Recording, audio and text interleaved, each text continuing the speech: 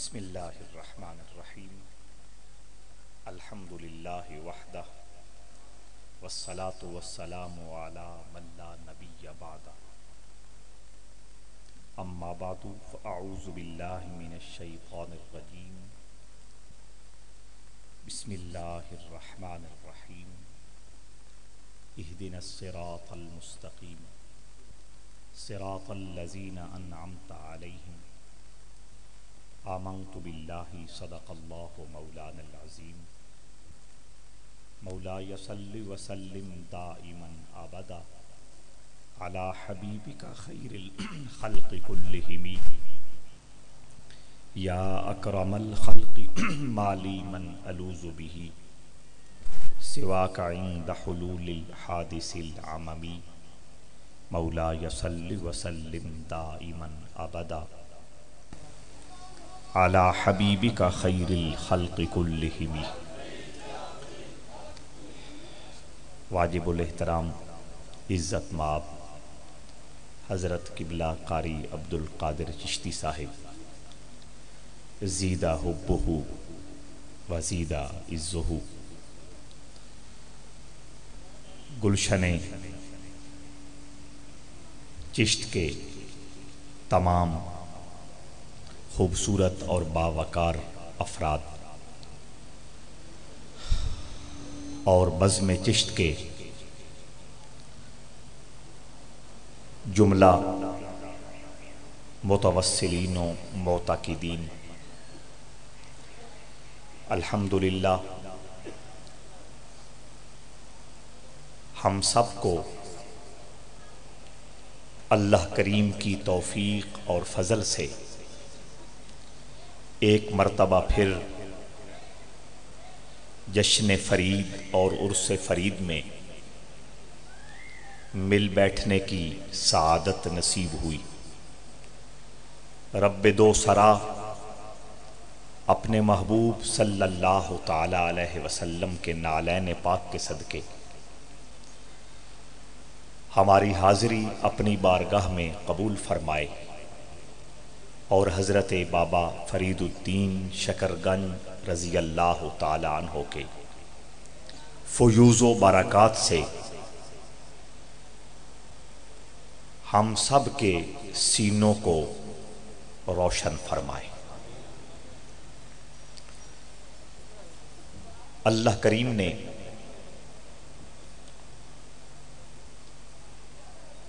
سورہ فاتحہ کے اندر ایک ہی دعا تلقین فرمائی، اہدنا الصراط المستقیم۔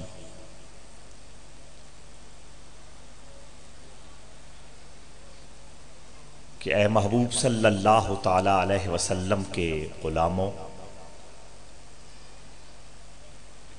اپنے کریم و رحیم رب کی بارگاہ میں التجا کرو کہ اے اللہ ہمیں سیدھے راستے پہ چلا۔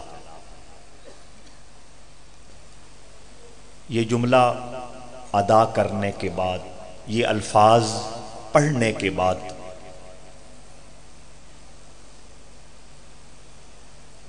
ہر صاحب شعور کے ذہن میں یہ خیال آتا ہے اور آ سکتا ہے کہ سیدھے راستے سے کیا مراد ہے۔ سیدھا راستہ کون سا ہے؟ تو اس ذہن اور دل میں آنے والے سوال کا جواب اللہ کریم نے خود ہی عطا فرمایا کہ صراط الذین انعمت علیہم، راستہ ان لوگوں کا جن لوگوں پر اے اللہ تو نے اپنا انعام فرمایا ہے۔ اور جن پہ انعام ہوا وہ کون لوگ ٹھہرے؟ اس کا جواب بھی اللہ کریم نے۔ دوسرے مقام پہ ارشاد فرمایا کہ انعام اللہ علیہم من النبیین والصدیقین والشہداء والصالحین۔ فرمایا، اللہ کا انعام نبیوں پہ بھی ہوا۔ صدیقین پہ بھی ہوا۔ راہ حق کے شہیدوں پہ بھی ہوا۔ اور اللہ کے دوستوں اور اللہ کے ولیوں پہ بھی ہوا۔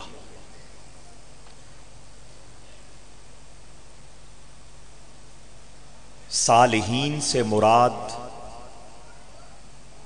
نیکوکار ہیں۔ اور قرآن کی زبان میں۔ نیکوکار وہ ہیں جن کے سینے اللہ کی محبت کے گنجینے ہیں اور جن کے سینے رسول اللہ کے پیار کے مدینہ ہیں۔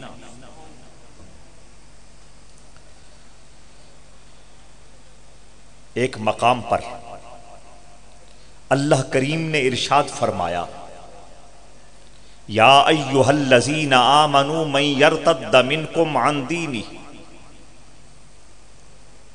کہ اے ایمان والو، اگر تمہارے اندر سے کچھ لوگ کلمہ چھوڑ بیٹھے، راہ حق کو چھوڑ کر راہ باطل کو اختیار کر بیٹھے سرات مستقیم سے منحرف ہو کر۔ دوزہ کے راستے کے مسافر بن جائیں۔ فکر مند ہونے کی ضرورت نہیں۔ ٹینشن لینے کی ضرورت نہیں۔ فسوف یات اللہ بقوم۔ جو گئے وہ تو چلے گئے۔ ان کی جگہ اللہ ایک نئی قوم لائے گا۔ ایک نئی جماعت لائے گا۔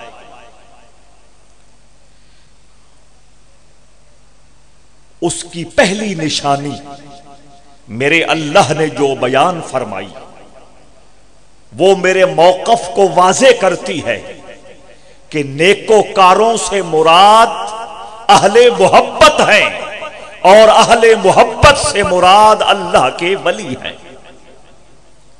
فرمایا، فسوف یات اللہ بقوم۔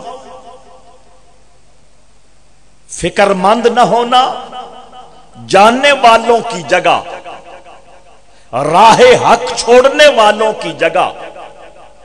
اللہ اپنی قدرت سے اور اپنے فضل سے ایک نئی جماعت لائے گا، ایک نئی قوم لائے گا، جس کی نشانیوں میں سے پہلی نشانی یہ ہے کہ وہ اللہ سے محبت کرتے ہیں اور اللہ ان سے محبت کرتا ہے۔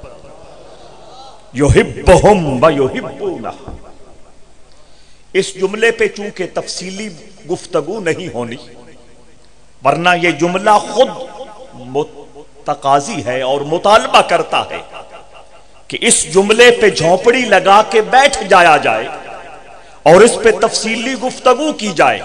لیکن ایک اشارہ صرف عرض کرنا چاہتا ہوں کہ فَسَوْفَ يَعْتِ اللَّهُ بِقَوْمْ يُحِبُّهُمْ وَيُحِبُّونَ اللہ فرماتا ہے کہ ان جانے والوں کی جگہ جو نئی جماعت اللہ لائے گا، اس کی نشانیوں میں سے پہلی نشانی یہ ہے کہ یُحِبُّهُمْ وَيُحِبُّونَ پہلے اللہ ان سے محبت کرے گا، اس محبت کے نشے سے سرشار ہو کر وہ اپنے محبوب کے پیار میں گرفتار ہو جائے گی۔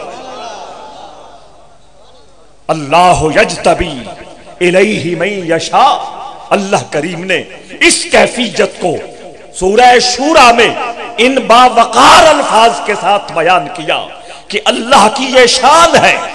اور اللہ کی یہ آتا ہے اور اللہ کی رحمت کا یہ ایک خوبصورت انداز ہے۔ کہیں کہیں وہ موج میں آتا ہے اور اپنے بندوں میں سے جنہیں چاہتا ہے اپنا محبوب بنا لیتا ہے، اپنی طرف کھینچ لیتا ہے۔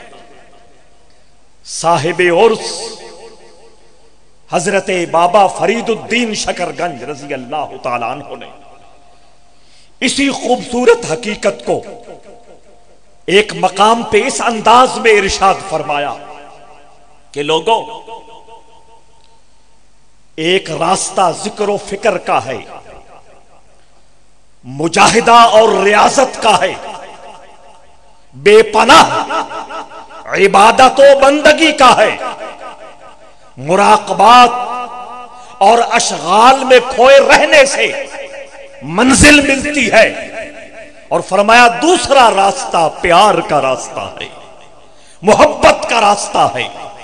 جامع محبت اپنی روح میں انڈیل لینے سے آدمی با مراد بھی ہو جاتا ہے، منزل آشنا بھی ہو جاتا ہے۔ اور اس کی آپ نے بڑی خوبصورت مثال بیان فرمائی۔ ایک بہت بڑا جنگل ہو اور حکم دے دیا جائے کہ جنگل کا صفایا کر دو اور زمین ستھری کر دو۔ یہاں کوئی پلازا بننا ہے، کسی کالونی کا ارینج کرنا ہے، کسی آفس کو بنایا جانا ہے۔ اب اس جنگل کو ختم کرنے کے لیے دو ہی طریقے ہیں۔ ایک طریقہ یہ ہے کہ لوگ کلہاڑے لے کے، آریاں لے کے آ جائیں، ایک ایک درخت کو کاٹنا شروع کر دیں۔ اور پھر کسیاں لے کر جڑوں سے نکالنا شروع کر دیں۔ دو دن لگیں، دس دن لگیں، دو مہینے لگ جائیں۔ اس کا اعتبار نہیں ہے۔ دوسرا طریقہ یہ ہے کہ ایک درخت کو آگ لگا دی جائے۔ اور آگ کا یہ مزاج ہے، جو آگ کی خاصیت، وہ عشق کی خاصیت، ایک سینہ بسینہ ایک خانہ بخانہ، جو آگ کی خاصیت، وہ عشق کی خاصیت، ایک سینہ بسینہ، ایک خانہ بخانہ۔ خدا نخواستہ، ایک گھر میں آگ لگ جائے، کنٹرول نہ کیا جائے۔ فائر برگیڈ والے بر وقت نہ پہنچ سکے، محلے والے مدد کے لیے نہ آ سکے۔ دوسرے گھر کو، تیسرے گھر کو، پورے محلے میں آگ پھیل جاتی ہے۔ چونکہ آگ کی یہ خاصیت ہے کہ وہ آگے چلتی رہتی ہے۔ جو آگ کی خاصیت ہے، وہی عشق کی خاصیت ہے۔ ایک سینے میں عشق کی شمع جلتی ہے۔ حضرت سیدنا حیدر کرار، امیر المومنین حضرت علی رضی اللہ تعالی عنہ کے سینے میں اللہ کے حبیب نے جب یہ شمع جلائی، اس سے حضرت حسن بصری نے حسن بصری سے حضرت شیخ فضیل ابن عیاض نے، فضیل ابن عیاض سے، ابراہیم ادم بلخی نے، ابراہیم ادم بلخی سے صدید الدین مراشی نے صدید الدین مراشی سے، امین الدین حبیرہ بصری نے، ان سے حضرات شامی نے، ان سے حضرت عثمان ہیروانی نے، ان سے حضرت معین الملت والدین، ہند الولی، خواجہ اجمیری نے ان سے حضرت بختیار کاکی نے، ان سے حضرت بابا فرید شکر گنج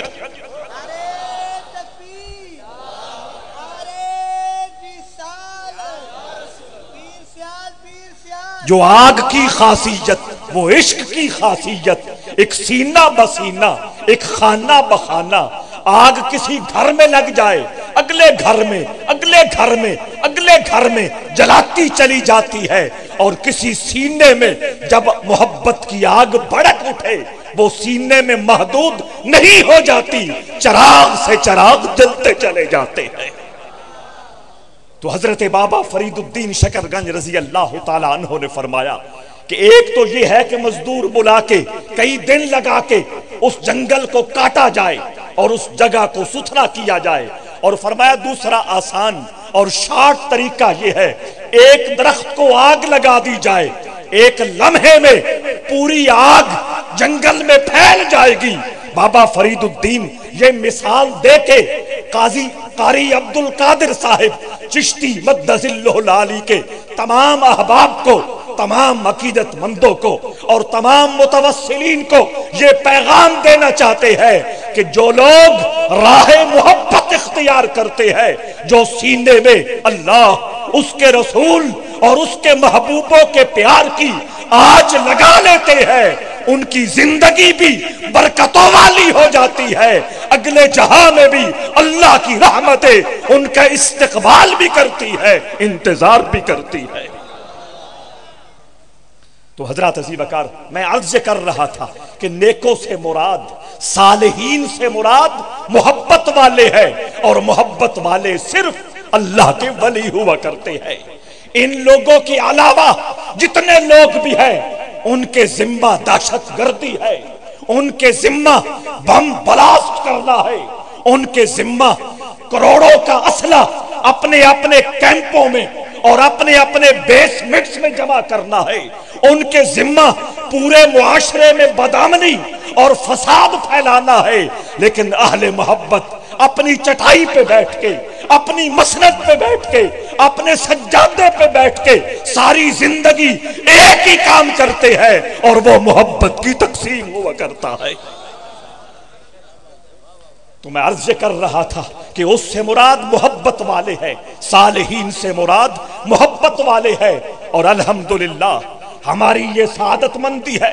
اور اللہ کی بارگاہ سے ہمارے لیے یہ بڑی عزت افزائی اور بڑی انعام کی بات ہے کہ ہم محبت والوں کے دامن گرفتہ ہے ہم پیار والوں کے ساتھ نسبت کے دعوے دار ہے ہماری عقیدتیں، ہماری محبتیں، ہماری نیازمندیاں، ہماری خدمتیں سب کی سب اہل محبت کے لیے وقف ہے حضرت عزیز وکار حضرت بابا فرید الدین شکر گنج رحمت اللہ تعالی علیہ کو اللہ کریم نے یہ جو عزت عطا فرمائی یہ رفات عطا فرمائی، یہ مرتبہ عطا فرمائے۔ یہ ایسے نصیب نہیں ہو گئے۔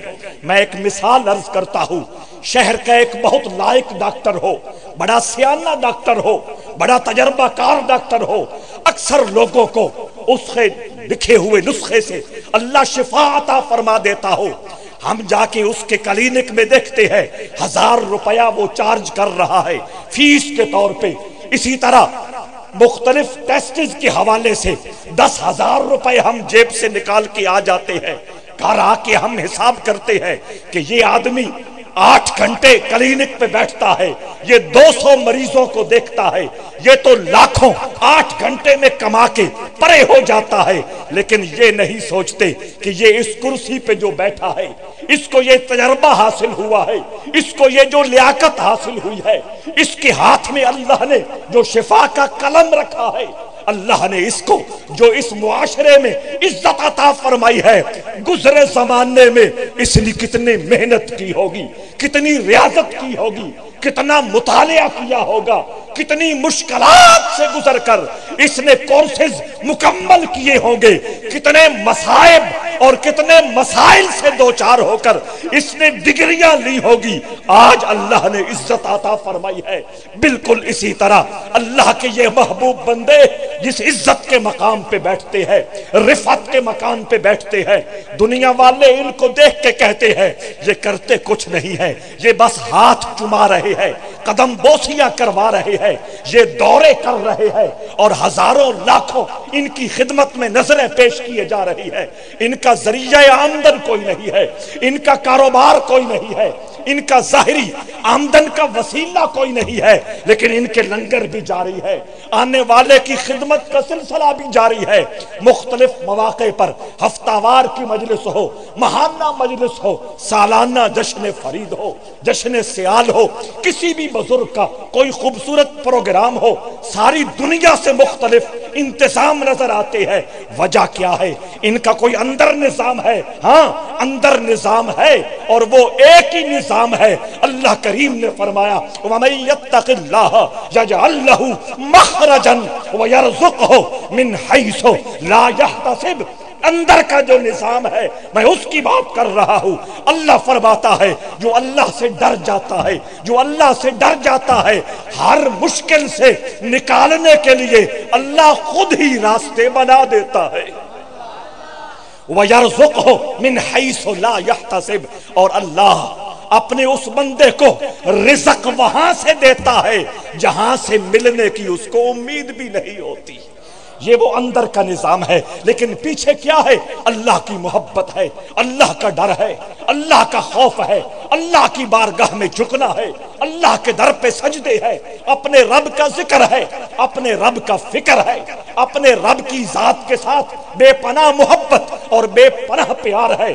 حضرت بابا فرید الدین شکر گنج رحمت اللہ تعالی علیہ جب جوانی کے ماحول میں زندگی گزار رہے تھے، وقت ضائع نہیں کیا اپنی زندگی کا کوئی لمحہ ضائع نہیں ہونے دیا۔ قرآن مجید حفظ کیا۔ قرآن مجید حفظ کرنے کے بعد دینی کتابیں پڑھی۔ اس میں صرف بھی ہے، اس میں نحو بھی ہے، اس میں منطق فلسفہ بھی ہے، اس میں حدیث بھی ہے، اس میں فقہ بھی ہے، اس میں تفسیر بھی ہے۔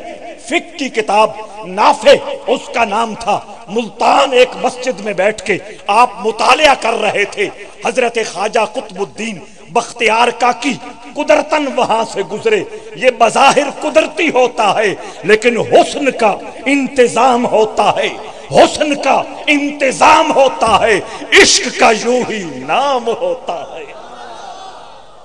حضرت بختیار کا کی وہاں سے گزرے۔ خواجہ بابا فرید الدین شکر گنج طالب علم ہے کتاب کھول کے مطالعہ کر رہے ہیں۔ اچانک جو نظر اٹھی، حضرت بابا بختیار کاکی کی چہرے انور پہ پڑی اف تیری پہلی نظر کا وار۔ اف تیری پہلی نظر کا وار۔ ہائے توبہ، دل اب تک دعائیں دے رہا ہے۔ نظر کیا لڑی؟ محبت ہو گئی، پیار ہو گیا۔ حسن سے ایسی آنکھ لڑی کہ قبر میں بھی آنکھ جلوے رہی ہے تو بختیار کا کی کے انوار کے دیکھ رہی ہے۔ بیٹا، کیا کر رہے ہو؟ جناب، میں کتاب پڑھ رہا ہوں۔ یہ کون سی کتاب ہے؟ اس کتاب کا نام نافع ہے۔ نافع ہے۔ اچھا پڑھتے رہو۔ لیکن بابا فرید الدین نے کہا، حضور، مجھے کتاب سے نفع کی توقع نہیں، آپ کے قدموں سے نفع ملنے کی امید ہے۔ حسن کا انتظام ہوتا ہے، عشق کا یوں ہی نام ہوتا ہے۔ اب قدرت کی طرف سے ایک پروگرام بن رہا ہے۔ پہلے ملاقات ہو گئی، پھر کس خوبصورت انداز میں اپنی زندگی اور اپنی زندگی کے سارے مسائل اپنے مرشد کامل کے حوالے کر دیے۔ کہ مجھے تو نفع ملے گا، آپ کے قدموں سے ملے گا۔ حضرت بختیار کاکی نے کہا، جو کام میں نے کرنا تھا وہ کر دیا، لیکن تمہارا جو علم باقی ہے اسے مکمل کر لو، دلی آ جانا۔ وہ سلسلہ شروع ہو گیا۔ پھر اسی انہی مجاہدات میں، انہی ریاستوں میں، انہی مشقتوں میں اور اسی محنت میں حضرت بابا فرید الدین شکر گنج نے اسی ملتان کے علاقہ میں ایک مسجد کے اندر کنواں تھا۔ اور اس کنویں کے اندر الٹا لٹک کر چالیس دن اپنے رب کا ذکر کیا۔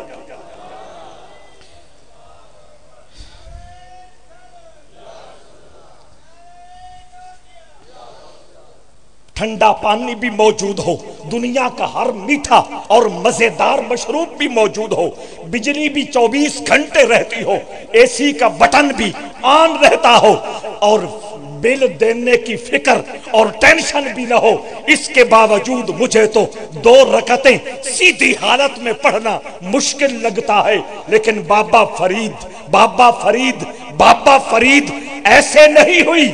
چالیس دن الٹا لٹک کر کنویں کے اندر اپنے رب کے منانے کے جتن کرتے رہے۔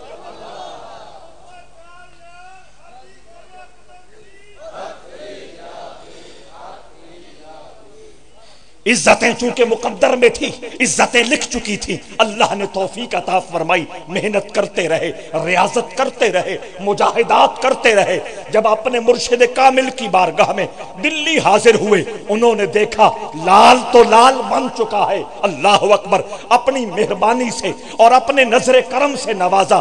خود نہیں، صرف خود نہیں، اپنے مرشد کریم، حضرت خواجہ معین الدین، چشتی اجمیری، کسی کام کے کے لیے اجمیر سے دلی آئے، کام بھی کیا تھا۔ وہ بھی اس موقع پہ عرض کرنا مناسب سمجھتا ہوں۔ اللہ والے کتنا مخلوق کا درد رکھتے ہیں۔ ایک بڑھیا اجمیر آپ کی بارگاہ میں حاضر ہوئی۔ حضور دلی میں میری کچھ زمین تھی جو بعض ناجائز قبضہ کرنے والوں نے چھین لی ہے، ناجائز قبضہ کر لیا ہے۔ میں اپنی طاقت آزما چکی ہوں، میں اپنے ہنر آزما چکی ہوں، میں اپنے تعلقات آزما چکی ہوں۔ زمین وہ قبضے سے نہیں چھوڑتے، میری زمین مجھے واپس نہیں کرتے۔ خواجہ معین الدین اجمیری نے سوچا کہ ہندوستان کا بادشاہ جس کا پایا تخت دلی میں ہے دار الحکومت کیپٹل دلی ہے، وہ وہاں بیٹھتا ہے۔ غیاس الدین بلبن اس کا نام ہے اور وہ میرے کتب کا غلام ہے۔ وہ میرے قطب کا غلام ہے۔ چلو، اس بڑھیا سے کہا، تم انتظار کرو، میں تیرے کام کا انتظام کرتا ہوں۔ آپ آدمی بھی بھیج سکتے تھے رکا بھی بھیج سکتے تھے، کوئی بھی انداز اختیار کر سکتے تھے۔ اس زمانے میں پیدل اجمیر سے چل کے دلی آئے، بادشاہ وقت کو بلوایا، فرمایا، اللہ کی مخلوق کی ہمدردی کا جذبہ لے کر۔ میرے اور آپ کی آقا سرور کائنات صلی اللہ تعالی علیہ وسلم بیت اللہ شریف کا طواف کر رہے ہیں۔ طواف کرتے کرتے رک گئے اور کہنے لگے، اے خدا کے گھر، تو بڑی عزتوں والا ہے، بڑے مرتبوں والا ہے، بڑی شانوں والا ہے، بڑے مقام والا ہے۔ لیکن سن لے، مومن کا مقام اللہ کی نگاہ میں بیت اللہ تجھ سے بھی افضل ہے۔ اللہ کے ولی اور اہل محبت اس نقطے کو سمجھتے ہیں، اس حقیقت کو سمجھتے ہیں۔ دوسرے لوگ ذرا اس حوالے سے سوچے تو صحیح، آج پانی اتنا سستا نہیں ہے جتنا مومن کا خون سستا ہو گیا ہے۔ لیکن اہل محبت کا انداز دیکھیے، اجمیر سے چلے دلی آئے بادشاہ کو بلوایا، میں اس کام کے لیے آیا ہوں، وہ قدموں میں گر گیا۔ حضور، آپ نے کوئی ادنا سا اپنا نوکر بھیج دینا تھا، میں یہ کام کر کے فخر سمجھتا۔ فرمایا، نہیں، اس بڑھیا کا دل راضی کرنا میرا مقصد تھا، اور وہ اس وقت تک راضی نہیں ہو سکتا تھا جب میں خود نہ آتا حضرات اسی وقار توجہ چاہتا ہوں۔ اس وقت حضرت خواجہ معین الدین اجمیری کی بارگاہ میں حضرت بختیار کاکی نے میرے اور آپ کے بابا بابا فرید الدین شکر کو پیش کیا۔ خواجہ معین الدین رحمت اللہ تعالی علیہ نے جب دل کی دنیا میں نگاہ ڈالی، قطب الدین کو مبارک دی، فرمایا تم نے جو کام کرنا تھا وہ کر دیا ہے۔ تم نے جس مقام پہ پہنچانا تھا، پہنچا دیا ہے۔ میں تو اب صرف تصدیق کر رہا ہوں، تائید کر رہا ہوں اور تحسین کر رہا ہوں۔ حضرت عزی وکر حضرت بابا فرید الدین، حضرت بختیار کاکی کے وصال کے بعد دلی میں اپنے مرشد کے مسلح پہ بیٹھ گئے۔ اللہ اکبر، بیٹھنے کی دیر تھی۔ اللہ کی مخلوق، دیوانوں کی طرح، پروانوں کی طرح حضرت بابا فرید پہ قربان ہونے لگی، فدا ہونے لگی۔ چھ ماہ مسلسل آپ دلی میں اپنے پیر کے آستانے پہ اور پیر کے سجادے پہ تشریف فرما رہے۔ چوبیس گھنٹوں میں چند گھنٹے ملتے تھے جس میں کوئی آرام فرما سکتے ہو، کچھ ذکر و فکر کر سکتے ہو۔ ایک مرتبہ نماز کے لیے، جمعہ کی نماز کے لیے جامعہ مسجد دلی جا رہے تھے۔ اچانک ایک دیوانہ سا شخص مجمع کو ہٹاتا، چیرتا ہوا آپ کے قریب آیا، آپ کے سینے سے چمٹ گیا، کہنے لگا، فرید الدین، جب ملتان ہوتے تھے، چوبیس چوبیس گھنٹے ذکر یار مل کے کرتے تھے، اب تین دن سے میں انتظار کر رہا ہوں اور مخلوق موقع نہیں دیتی، میں تم سے مل سکوں۔ یہ وقت بھی آنا تھا، اس نے اپنے دل کی صدا بابا فرید تک پہنچائی۔ آپ نے وہیں کھڑے کھڑے فیصلہ کر لیا۔ اب میں دلی نہیں رہوں گا۔ توجہ ہے یا نہیں؟ اب میں دلی نہیں رہوں گا۔ جمعہ ادا کرنے کے بعد واپس آئے، اپنے دوستوں کے سامنے بات فرما دی کہ میں نے فیصلہ کر لیا ہے، میں دلی نہیں رہوں گا۔ ایک مسجد کا امام ہو، اس کا محلے میں نام ہو جائے، محلے میں مقبولیت ہو جائے، محلے والے اس سے پیار کرنے لگے۔ اس سے عقیدت رکھنے لگے۔ اس کے لیے آسان نہیں ہوتا کہ وہ مس محلے کی مسجد کو چھوڑ کے کہیں اور چلا جائے۔ اور وہ شخصیت جو خواجہ قطب الدین بختیار کاکی کا خلیفہ ہو اور خلیفہ اعظم ہو اور وہ شخصیت جو دلی جو کیپیٹل ہے دار الحکومت ہے، اس میں اپنے مرشد کامل کے مسلح پہ بیٹھا ہو اور وقت کا بادشاہ، وقت کا بادشاہ، بابا فرید کا پیر بھائی بھی ہو اور وقت کا بادشاہ اپنی بیٹی بابا فرید کے نکاح میں بھی دے چکا ہو۔ اس کے لیے یہ فیصلہ کرنا کوئی خالہ جی کا گھر ہے، کوئی آسان کام ہے، لیکن بات کہہ دی کہ اب میں نے یہاں نہیں رہنا۔ لوگ منتے کرنے لگے، آہوزاریاں کرنے لگے سماجتے کرنے لگے۔ کرم فرمائے، فیصلہ تبدیل فرمائے۔ توجہ چاہتا ہوں۔ بابا فرید ایک ہی بات کہتے، درویش کی زبانیں دو نہیں ہوتی، ایک زبان ہوتی ہے۔ درویش کی زبانیں دو نہیں ہوتی، ایک زبان ہوتی ہے چشتیوں اور فریدیوں اور بابا فرید کے غلاموں۔ یہ سبق ہم نے یاد کرنے ہے یہ تربیت ہم نے لینی ہے۔ بابا فرید نے کہا، میرا غلام وہ ہے اور چشتی مرید وہ ہے جو دو زبانیں نہیں، ایک زبان رکھنے والا ہو۔ آخر آپ کے بڑے خاص دوست اور بڑے گہرے یار خواجہ حمید الدین ناگوری جو آپ کے یار بھی تھے، گہرے دوست بھی تھے، جگری بیلی بھی تھے اور پیر بھائی بھی تھے، انہوں نے عرض کی، فرید الدین، پیر کا مسلح چھوڑ کے جا رہے ہو۔ یہ بڑی بات تھی۔ کہ یہ بات سننے کے بعد بابا فرید فیصلہ تبدیل کر لیں گے۔ دوستو، سنیے سنیے، درویش کا مقام سنیے۔ بابا فرید نے کہا، حمید الدین صاحب، سن لیجیے، میرے مرشد نے جو مجھے اندر نعمت عطا کی ہے، وہ زمانے سے بھی اونچی ہے، مکان سے بھی اونچی ہے۔ میں اگر سمندروں میں ڈیرا لگا لوں، میرا کام وہاں بھی چل جائے گا۔ جنگلوں میں ڈیرا لگا لوں، میرا نظام وہاں بھی چل جائے گا۔ میں پہاڑوں کی غاروں میں چھپ کے بیٹھ جاؤں، میرا سلسلہ وہاں بھی چلے گا۔ میں آسمانوں کی طرف روانہ ہو جاؤں، میرا اللہ میرا نظام وہاں بھی چلاتا رہے گا۔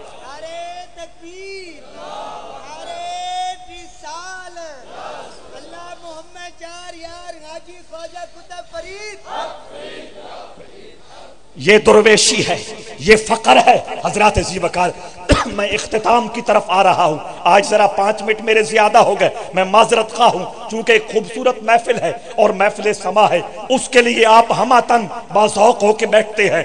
درمیان میں قبلہ قاری صاحب کی محبت کہ یہ محفل سما اور آپ کے درمیان مجھے بٹھا دیتے ہیں۔ اللہ کریم ان کو اور عزت عطا فرمائے۔ آپ کے ذوق شوق میں اور برکت عطا فرمائے۔ یہی عزتیں، یہ رفاتیں جو بابا فرید کو ملی، دلی کو چھوڑ دیا اور پاک پتن بے تشریف لائے۔ اس وقت یہ پاک پتن نہیں اجودن تھا۔ یہاں نہ کوئی برادری ہے، نہ کوئی رشتہ داری ہے، نہ کوئی واقفیت ہے، نہ کوئی کلمہ پڑھنے والا ہے۔ بالکل بظاہر جنگل کا ماحول تھا۔ آپ یہاں آ کے تشریف فرما ہو گئے۔ لیکن اللہ نے جو عزت عطا فرمائی، جو مرتبے عطا فرمائے، جو شان عطا فرمائی، زندگی میں جو کوئی شاباز آپ کے جال میں پھنسا میں فی الحال آج کی نشست میں اس پہ بات نہیں کرنا چاہتا۔ جو عزتیں ملی، ان میں سے ایک عزت یہ ہے، دنیا سے چلے گئے، اس کے باوجود ان کے در کو در جنت فرما دیا۔ ان کے در کو در جنت فرما دیا، وہ باب جنت بہشتی دروازہ۔ اس حوالے سے ایک بات عرض کرنا چاہتا ہوں۔ اکثر دوستوں کو ذہن میں ایک بات گھومتی ہے اور زبان پہ بھی آ جاتی ہے کہ جنت تو عمل کے بغیر ملتی نہیں ہے اور یہ سالانہ عرص پہ جا کے دروازے سے گزرتے ہیں اور کہتے ہیں، ہم جنتی ہو گئے، ہم جنتی ہو گئے، ہم جنتی ہو گئے۔ دوستو، پہلی بات تو یہ ہے، یہ کہاں لکھا ہے کہ جنت صرف عمل سے ہی ملتی ہے؟ یہ کہاں لکھا ہے کہ جنت صرف عمل سے ملتی ہے؟ میں آپ کو بتاتا ہوں کہ جنت ملی ہے، عمل نہیں ہے، جنگ ہو رہی ہے۔ ایک کافر وہاں سے گزرا، اس نے سرکار دو عالم صلی اللہ تعالی علیہ وسلم کے چہرہ انور کو پہلی پہلی دفعہ تکا۔ آپ کی خدمت میں حاضر ہو کے کہنے لگا، آ، اس لیمو او اقاتلو اے محمد بولو، میں پہلے اسلام قبول کروں پھر تیرے دشمنوں کے ساتھ لڑوں یا پہلے ہی لڑنا شروع کر دوں۔ اس نمو او اقاتلو میں پہلے اسلام قبول کر لوں، پھر میں تلوار پکڑوں، یا سیدھا میں میدان جہاد میں تیرے دشمنوں کا جا کے سر کاٹنا شروع کر دوں۔ حضور نے فرمایا آسلم سم مقاتل پہلے اسلام قبول کر، پھر تو جنگ کر، پھر جا کے جہاد کر۔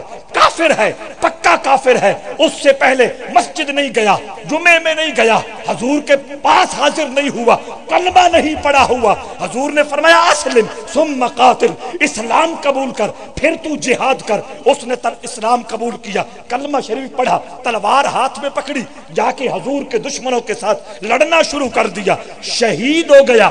جب حضور اس کی لاش کے پاس پہنچے، مسکرائے، صحابہ نے پوچھا، یا رسول اللہ، مسکرانے کا سبب کیا ہے؟ فرمایا، اس کے کھاتے میں عمل ایک بھی نہیں ہے۔ اس کے باوجود جنت کی بہاروں کو لوٹ رہا ہے۔ لاجپال لاجپال لاجپال داستان عالیہ معظمہ با شریف داستان عالیہ معظمہ با شریف حجر اسود جنتی ہے، حجر اسود جنتی ہے۔ جو اس کے ساتھ ٹچ کرتا ہے، وہ بھی جنتی ہو جاتا ہے۔ حضرات عزیز وقار اس لیے اس بحث میں گم نہ ہو جانا کہ عمل کے بغیر جنت نہیں ملتی، جنت اللہ کے فضل سے ملتی ہے۔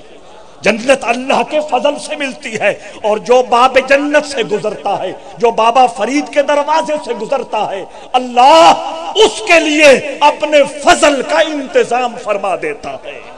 اللہ کریم حضرت بابا فرید الدین شکرگنج رضی اللہ تعالی عنہ کے فیضان سے ہماری روحوں کو خوشبودار فرمائے۔ حضرت بابا فرید الدین کے فیضان سے ہمارے گھروں کو آباد فرمائے۔